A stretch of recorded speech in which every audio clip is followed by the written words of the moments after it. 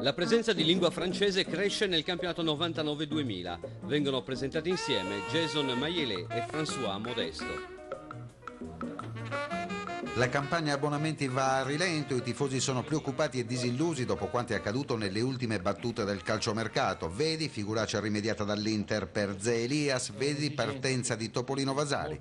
Non c'è ricetta migliore di proporre alla platea degli sportivi due volti nuovi. Ve li presentiamo, si chiamano François Modesto e Jason Maielet. Il primo arriva dalla Bastia a 21 anni, si presenta con le qualità di elemento estremamente duttile perché Tabarez potrà utilizzarlo in mediana ed in difesa in tutti i ruoli. Un tipo alla Sensini con le dovute proporzioni perché altrimenti il Cagliari non se lo sarebbe assicurato a parametro zero. Il secondo è il mitico Jason Maielet che Cellino ha inseguito per quasi un anno fino a quando, per poco meno di 3 miliardi, non è riuscito a spuntarla sulla resistenza dello Chaterois, società che milita nella serie cadetta transalpina. Maielet che ha 23 anni è il tornante d'attacco che nell'organico del Cagliari prenderà il posto di Vasari. Lo hanno accompagnato Giorgio De Giorgis e Bruno Saten che sono anche i procuratori di Jonathan Zebinà e Patrick Bomà. L'uomo su cui si punta è il congolese, nel suo passato una comune militanza nel Châteauroux con Patrick Mboma e non è un caso che inizialmente a fargli da interprete sia proprio il camerunense. Déjà la différence qu'il y a euh, che è un campionato in cui ci sono tanti stranieri, un campionato molto forte, eh, stranieri, grandi giocatori, un, un campionato molto forte in cui c'è eh, molto ingaggio, in cui può, può crescere e ha tante cose da apprendere qui. Il tuo vero ruolo in campo, tu dovresti essere un tornante, però sei stato impiegato da seconda punta in questi allenamenti di Brunico. Bah, pour l'instant, bah, c'est sûr que je me suis retrouvé en attaque euh, à l'entraînement. Donc, euh, È vero che eh, si è trovato un po' un pochettino più centrale, però lui è venuto come calciatore e vedrà come l'allenatore, l'allenatore lo farà giocare. Si è molto discusso sulla tua età, alcuni hanno detto sì è del 76 a 23 anni, altri invece hanno detto no è del 70 ne ha 29. Questa è una storia che gira dall'anno scorso.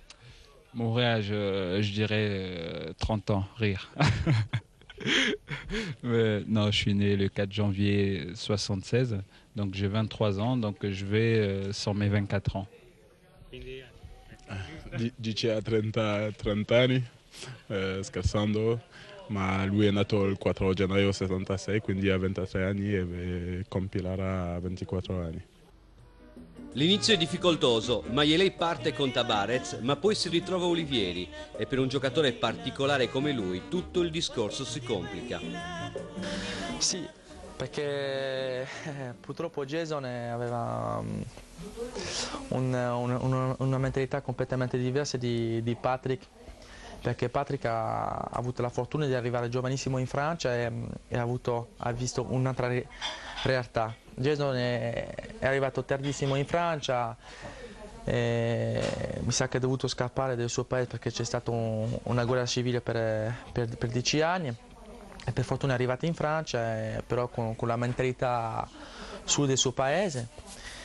E- è un giocatore che aveva, potenzialmente aveva tantissime qualità, però purtroppo era un giocatore che vedeva il calcio come, come un, divertimento, sempre come un gioco in Italia purtroppo non, non puoi avere troppo questo atteggiamento lì perché ogni domenica devi rendere il massimo perché sennò eh, no, la gente non è contenta di te e poi le tue prestazioni se non sono sempre uguali o quasi uguali non puoi giocare in Italia secondo me. Olivieri non sa aspettare il decollo dell'esterno di destra e per Maielet prevede compiti tattici troppo elaborati. Inizia così un difficile rapporto fatto di sostituzioni premature che lo sottopongono ai fischi del pubblico. La prima è in Cagliari Udinese. Al Sant'Elia torna Muzzi per un fraterno duello con Matteo Villa. Il bomber di Morena realizza due delle tre reti della vittoria bianconera e Maielet viene sostituito al 35esimo. Non è l'unica polemica della giornata. Fa discutere i Savonarola del calcio il fatto che Muzzi e Villa trascorrano insieme il dopo partita. Secondo me è giusto perché loro hanno conosciuto mi sa 4-5 anni qua insieme, erano uno capitano e l'altro vice capitano, erano due, due, persone molto importanti dentro lo spogliatoio e molto legate anche fuori, fuori, dal campo.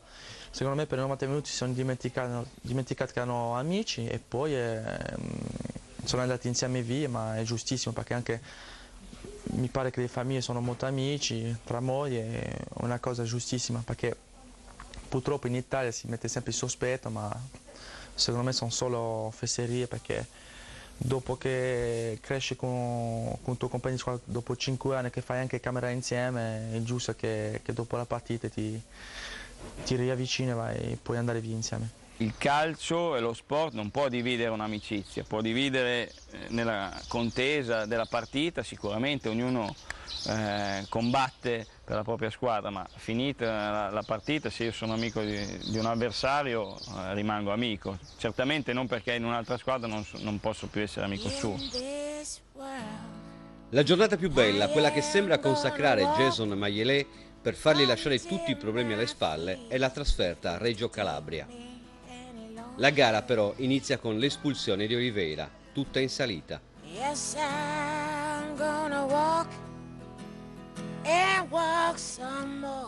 il Cagliari si riprende e sul cross di Macellari c'è un ragazzo che sale a toccare le stelle per schiacciare il pallone in rete. E allora sono solo capriole, come nei polverosi campetti del Congo. Maiele, un anno, quell'anno, un bravo ragazzo, si vedeva che io ti, mi piace raccontare, so che piace gli aneddoti. Io ero sempre il primo, ti ricordi, arrivare agli allenamenti. Un giorno arrivo da Semini, entro dentro lo spogliatoio, c'era già Jason che mangiava e vedevo, ho visto una scatola, un cartone di pizza, con metà pizza e la Coca-Cola. E gli dico, Jason, ma eh beh, perché? C'avevo fame e ho mangiato la pizza, cosa devo mangiare? Allora gli ho detto, guarda che magari tu sei stato abituato così, però in Italia funziona un po' diverso, cioè dovresti mangiare un po' prima, cose un po' più leggere a casa, fare le cose, ah va bene, va bene. E da allora per lui, perché non gli aveva mai detto nessuno, quindi lui andava avanti così.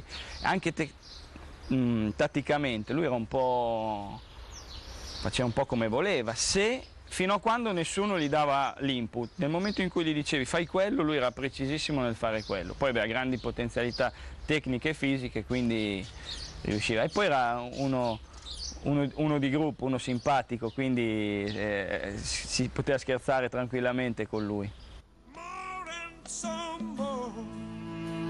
Forse Olivieri voleva anche educarlo, ma il suo metodo era sempre lo stesso, con chiunque, ferrea disciplina e sostituzione frequente.